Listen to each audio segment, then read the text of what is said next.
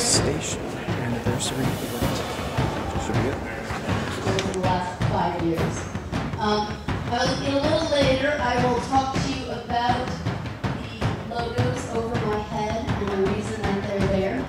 But I want to start by talking about the person who is coming up to speak to you in just a moment. We have a variety of speakers planned for you tonight, including some fabulous startups who can talk to you about the future of Houston um, but first, I want to talk to you about the driving force um, for innovation in Houston that I view as our mayor, Sylvester Turner. Well deserved. Well, Gabby is, is very, very generous with her comments, and I'm not going to say that it's all true, but let me tell you, I sure like the way it was sounding.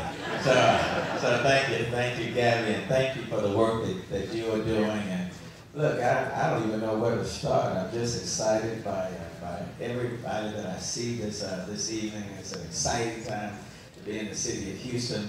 Let me let me start off. I'm, I'm not just here by myself because, quite frankly, it takes a team. It is a collaborative effort. It's a partnership uh, to make. Uh, uh, some transformational things happen in our city.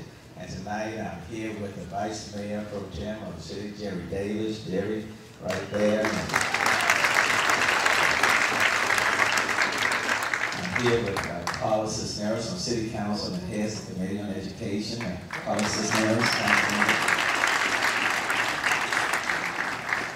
And then, look, uh, someone who was leading the city's recovery from, from Harvey, Marvin Odum. Marvin, Marvin, thank you.